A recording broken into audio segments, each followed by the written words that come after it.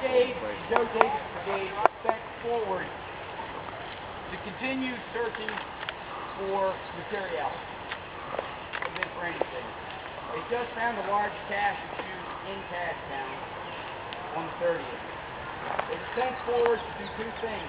Continue searching and to reconnoiter and force to find out what was out there. Because there were reports of Confederates running into Federals and not being just militia, but being Army of the Potomac. He's been credited for bringing on this mess. But with to look at it, he was only sent to the brigade. He held the rest of us back. So his whole division didn't go in and forth. He had enough common sense in case something did happen, he could pull